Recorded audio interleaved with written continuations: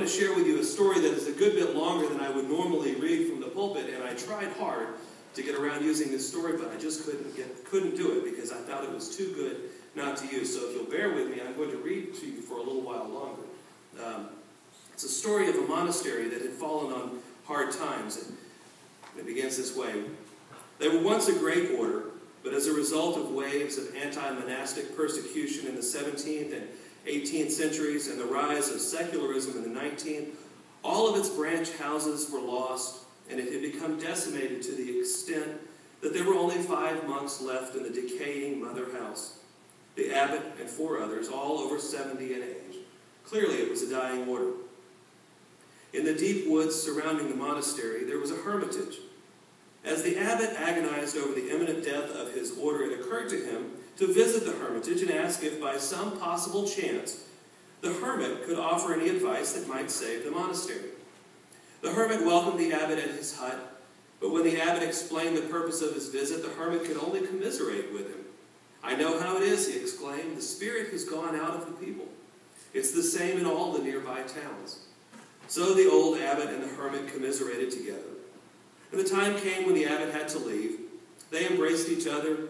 It has been a wonderful thing that we should meet after all these years, the abbot said, but I still have failed in my purpose for coming here. Is there nothing you can tell me, no piece of advice you can give me that would help me save my dying order? No, I'm sorry, the hermit responded. I have no advice to give. The only thing I can tell you is that the Messiah is one of you. When the abbot returned to the monastery, his fellow monks gathered around him to ask, Well, what did the hermit say? Now, he couldn't help, the abbot answered. We just commiserated and read the scriptures together. The only thing he did say, just as I was leaving, it was something cryptic, was that the Messiah is one of us. I don't know what he meant. And in the days and weeks and months that followed, the old monks pondered these words and wondered whether, was, whether there was any possible significance. The Messiah is one of us. Could he possibly have met one of us monks here at the monastery? If that's the case, which one? Do you suppose he meant the abbot? Yes, if he meant anyone, he probably meant the abbot. He's been our leader for more than a generation. On the other hand, he might have meant Brother Thomas. Certainly, Brother Thomas is a holy man. Everyone knows that Thomas is a man of light. Certainly, he could not have meant Brother Elred. Elred gets crotchety at times, but come to think of it, even though he's a thorn in people's sides, when you look back at it, Elred is virtually always right, often very right. Maybe the hermit did mean Brother Elred. But surely not Brother Philip. Philip is so passive, a real nobody. But then, almost mysteriously, he has a gift for somehow always being there when you need him. He just magically appears by your side. Maybe Philip is the Messiah. Of course, the hermit didn't mean me, each one of them thought. He couldn't possibly have meant me. I'm just an ordinary person. Yet, supposing he did. Suppose I'm the Messiah. Oh, God, not me. I couldn't be that much for you, could I? And as the monks contemplated in this manner, they began to treat each other with extraordinary respect on the off chance that one among them might be the Messiah. And on the off off chance that each monk himself might be the Messiah, they began to treat themselves with extraordinary respect. Now, because the forest in which it was situated was beautiful, it so happened that people still occasionally came to visit the monastery to picnic on its tiny lawn, and to wander among the paths, and even now and then to go into the dilapidated old chapel and spend some time meditating. As they did so, without even being conscious of it, they sensed an aura of extraordinary respect that began to surround these five old monks and just to radiate out from the place and permeate the atmosphere of the monastery. There was something strangely attractive, even compelling about it. Hardly knowing why, they began to come back to the monastery more frequently to picnic, to play, and to pray. They began to bring their friends to show them a special place, and their friends brought their friends. And then it happened that some of the younger men began to spend some time talking to the old monks. After a while, one asked if he could join them, and then another, and another. So within a few years, the monastery had once again become a thriving order, and thanks to the hermit's gift, a vibrant center of light and spirituality in the realm. Imagine if you will, how transformative it might be if we learn to treat people as if they really mattered and had special value just by virtue of being, as if they were special and unique, as if they truly were children of God, as if they might be the Messiah and the Messiah is among us. Our parable in chapter 25 of Matthew this morning wraps up a chapter of parables that talk about what the kingdom is and what the kingdom will be like and what this is all heading toward. It sums up these scenes of, of judgment and sorting and separation and such, but I don't think it means what we oftentimes would like for it to. If we're not careful here, we'll find ourselves in that same trap that I've talked about the last couple of weeks as we've been in this chapter. We might find ourselves so overly focused on the final judgment that we miss the rest of it. We might get mired in trying to parse the meaning of what does it mean to help? And who do we help? Who is the least? We might be like that one who asked Jesus, Well, who is my neighbor? And do we really have to go to prisons and do we really have to see sick people and all of that? And if we do this, we miss the whole point. See, judgment is God's business, thanks be to God. Who is in and who is out is not for us to decide, and really, honestly, not even for us to worry that much about if we trust that God can handle that. Certainly, the story is about judgment, but I think it's about something much, much more. It, as the other stories in the chapter are also, is about learning to recognize the coming of Christ into our lives and our presence daily and to respond to that presence in faith and in service and in love. In the parable of the bridesmaids, which we studied two weeks ago, we're taught to stay awake, to be alert, to be on the lookout because the bridesmaid, or the bridegroom, is coming at some time that we won't expect. Christ is coming into our lives all the time, and we never know for sure when. And last week we saw in the story of the, the servants and their master that this God that we worship and this God that we serve is a God of unbelievable generosity and trust in us. To entrust to us this incredible treasure of the gospel of forgiveness and reconciliation and of the kingdom to share. And today we begin to see it all begin to come back together. Jesus calls all people to him and separates them out. And the final sorting seems to have very little to do with what they believe and a whole lot to do with what they did. And that's sort of true, but we'll come back around to that. There's a couple of things that, that I think we need to keep in mind as we look at this parable. And the first one is this the sheep and the goats are kept together the whole time. There's no way to tell ahead of time who is in, who is out. It's really kind of pointless for us to try, don't you think? All of those who see this gathering of people might try to figure out who's going to be on the good side and who's going to be on the bad side, but ultimately, that's not our decision. The next thing is that I find it interesting that both the sheep and the goats are surprised at the end. The sheep didn't realize what they had done, the goats didn't realize what they hadn't done. They both had actually failed to notice that Christ was coming to them every day. They both failed to recognize the presence of God in those around them. It just happened that some people still knew the value of people and, and were willing to reach out and help. This next one would probably get me in trouble if I followed along the path too long. The word that's translated there about bringing the peoples back together is actually the Greek ta ethne, which is better translated probably the nations. I came across somebody this week who suggested that one way to read this is that this judgment is not of individuals, but that perhaps what if this is a judgment of nations for how they treat the marginalized and vulnerable and overlooked among them? Like I said, that one would just get me in trouble if I followed that path very long here. But it's worth thinking about, isn't it? That maybe God isn't just looking at what we do with our own lives, but what we do. And then the final judgment part of this is really not for us to figure out or, or to explain. What we are to do is to live out the truth that we have come to know of this gospel of forgiveness and of reconciliation and trust that the amazingly generous God we're serving will take care of the rest of it for us. Our job and what, what happened with the sheep As Father Capon, who I quoted last week, said, the sheep are praised not so much necessarily for what they did, but they are praised for trusting Him, that is Jesus, to have had a relationship with them all along and learning to recognize that relationship in people. When we think about this judgment thing, remember that it is a judgment by a God who exists to us in that relationship and in people.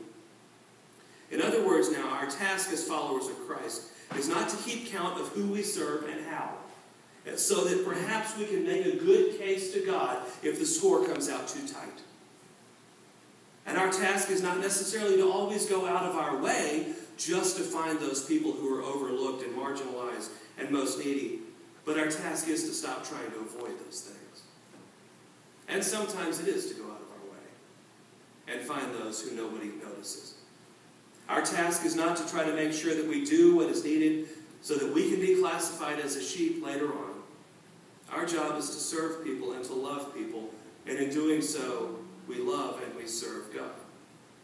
Our calling as followers of Christ is to see in others around us the value that they have as children of God, to recognize the spark of the divine in each person, and to help them to see that as well, to help others see that, that God dwells among them and lives with them as well.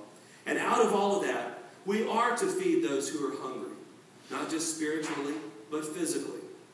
We are to provide refreshment to those whose lips and souls are parched and dry. We're to provide clothing and dignity to those left with nothing in a world of plenty. We are to, to provide companionship, friendship to those who are imprisoned, whether it's behind actual bars or in the loneliness of their lives or in the confusion of their minds. We're to recognize that the Messiah is among us, be one of us, certainly lives in us and is often in disguise, so we best be awake and alert and about the work to which we're called. Because how we treat people matters. How we see people matters. Because people matter. Because that is where we find God. How else can we respond to the radical grace and the generosity that we have come to know in this God, but to share radically this grace and this generosity with all those around us? A few years ago, Emily and I read a book called Same Kind of Different as Me, and if you haven't read it, you should. Um, easily one of the most challenging and encouraging books that I've ever read. It's one of those that you don't want to put down, but that you just want to push far away at the same time because it gets right into your business. I mean, right in the middle. It's a story of one of the most unlikely and transformative friendships that I've ever heard of. It's written by two gentlemen, Ron Hall and Denver Moore. Ron is a, a wealthy white art dealer out of the Metroplex who was living a very, very comfortable life when his wife started volunteering at one of the shelters in Fort Worth. I can't remember if it was Presbyterian Night Shelter or Union Gospel Mission. I think Union Gospel Mission, but I loaned the book out, so I can't find it. So if you have it, um, just keep it. So if I loaned it to you, just keep it. You need to read it more than I do. Um, but his wife saw this one gentleman there who most people avoided. In fact, most people were a little bit afraid of. He was a large, angry, homeless man who had grown up on a plantation in Louisiana, and nobody reached out to him. And she challenged her husband to reach out to this man because she believed that that man could change the city. But what it needed, he needed was someone to see him for who he was, for more than what people thought he was. So over time, they became friends, and then Denver actually became really a member of their family. In fact, lived with the family for a good portion of his life. Denver died a couple of years ago. But he died a very different man than he had been years earlier. Because one person saw in him the value that he had. One person saw Jesus in him. And his life was changed. But his was not the only one changed. Ron Hall's life was changed every bit as much as Denver's was, as was Ron's family.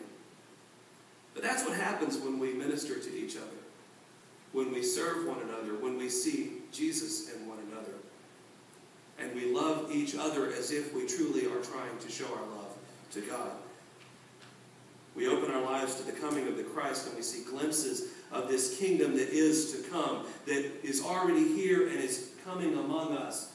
And it's a kingdom of people who know that Christ comes every day in a lot of different ways. See, in valuing others just because they're valuable, we learn to see who we really are and we learn to know who God truly is. The sheep didn't know what they'd done. Oftentimes we don't know. But what they did do was they, they looked for opportunities.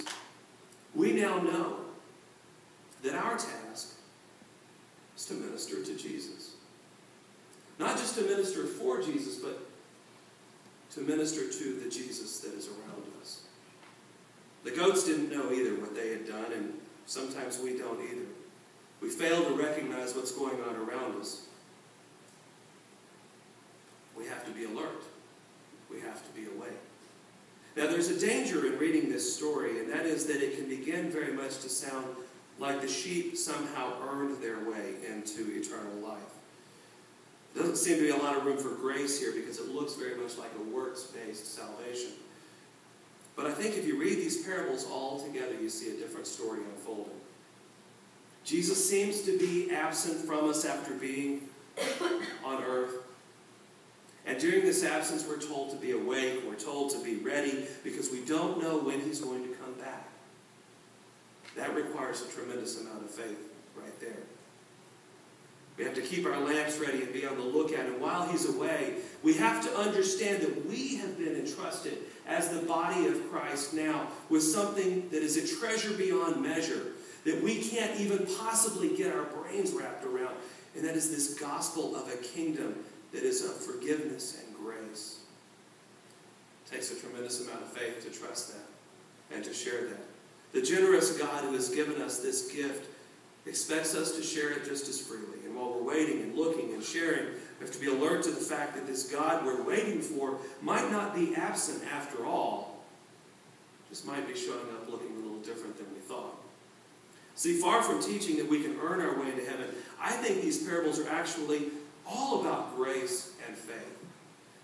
It takes a tremendous amount of faith to believe that God will do what God says and then to stay alert and actively wait for that promise to be fulfilled, especially when it seems as if maybe God isn't paying attention. You ever been there? It took faith to get through that. It takes faith to believe that the well of God's grace is so deep that we can never, ever exhaust it, and that we can share it freely and trust that God will do what needs to be done.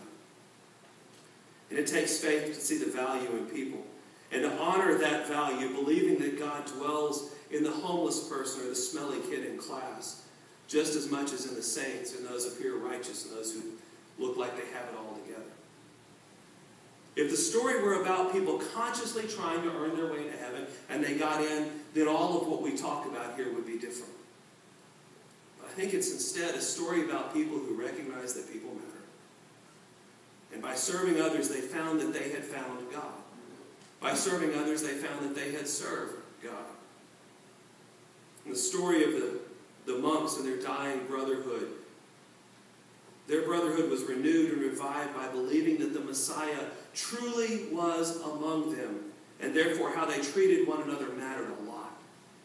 And the new life that they found through this new respect and this new understanding changed not only them, but everyone who came in contact with them and for Ron Hall and Denver Moore.